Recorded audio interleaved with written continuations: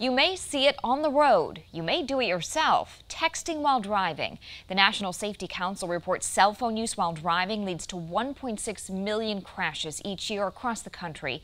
But here in Wisconsin, most drivers who do it aren't getting tickets. Michelle Alfini is digging deeper to explain why it's so hard to nail down these distracted drivers and what it will take to make our roads safer. It was a country road and there was a payloader tractor that was slowing down to turn in front of me. And I was obviously not paying attention. and when I looked up, I slammed into him. After that, Caitlin Vegter says everything went blank.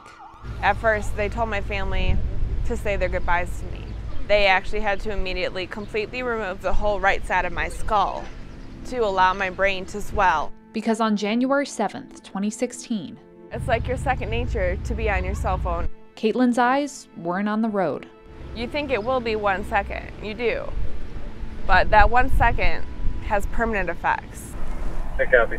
It's a kind of crash Dane County Deputy Bruce Miller sees all too often, which is why he considers cell phones one of the most dangerous distractions. You see people weaving all over the road, it's almost like they're impaired. It's Miller's job to get their eyes on the road, but he can't just stop anyone with a phone in hand.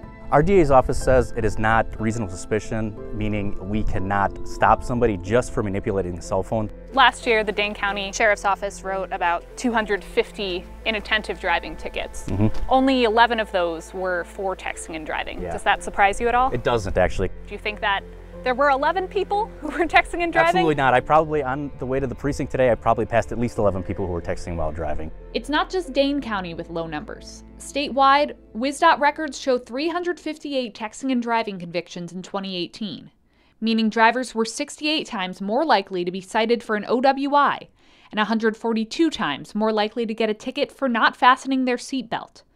Miller says the reason why is simple. If they don't admit to it, we really can't we can't write it because we ha- we don't have the evidence to write that they're you know texting while driving. Wisconsin law only covers texting or emailing while driving. So unless you're driving erratically, fiddling with your GPS on your phone or scrolling through Facebook behind the wheel are all technically legal.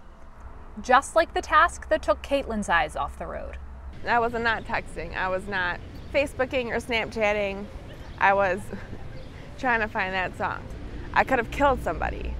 How would I have lived with that? Now Caitlin helps others avoid her mistake, speaking at schools and working with the DOT. It took almost dying to learn my lesson, so let me share it so you don't have to. Meanwhile, Miller says he'd like to see deputies ramp up enforcement. We should be out there citing these people for this dangerous driving behavior that is actually causing the crashes. But without changing the law, he says that wouldn't necessarily prevent a crash like Caitlin's. So their best hope is a change in behavior. It is an effort. It is it is something that you have to, you know, make yourself do. The Dane County Sheriff's Office says enforcement has improved since the work zone law passed in 2016. In the past two years, the department has issued 91 citations for being on the phone in a work zone compared to 23 texting and driving citations in the same time frame. According to the deputy, that's because the law requires less proof to enforce.